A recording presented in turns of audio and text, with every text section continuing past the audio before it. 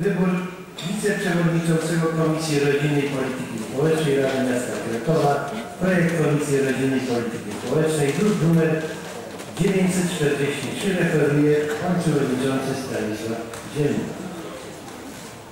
Panie Przewodniczący, Szanowni Państwo, Komisja Rodziny i Polityki Społecznej jednogłośnie wybrała kandydata na kandydata pana Krzysztofa Zgórka.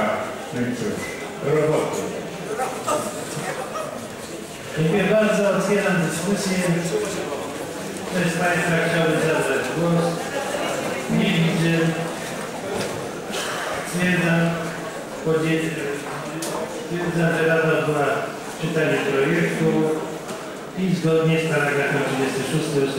3 Statutu Miasta Krakowa określam termin prowadzenia autopoprawek na godzinę. W tej chwili mamy 13.25. Ostateczny termin na godzinę 13.30.